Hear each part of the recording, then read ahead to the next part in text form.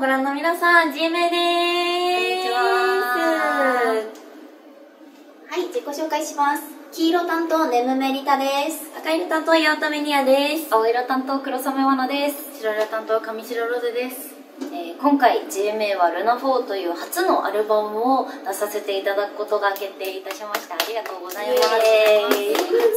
は10月10日となっておりまして私たちもね楽しみに待っているところなんですけれどもこの「ルナ4というアルバム、えー今までの1年半の私たちの集大成であり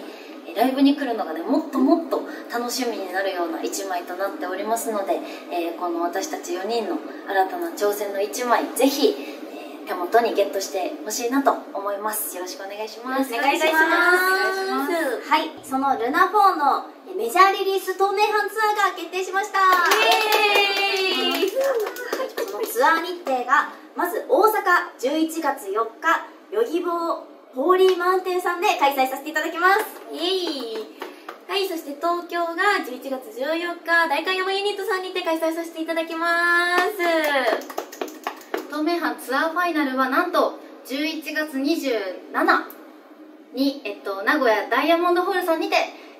わせていただきますすごい。すごい。ありがとうございます。今までで一番大きなね、あの何ワンマンライブ、そうですねステージに立たせていただけるということで、本当に楽しいライブをね、したいと思いますので、10月10日も楽しみに、そしてその後のツアーも楽しみに待っててくれると嬉しいです。よろしくお願いします。よろしくお願いしま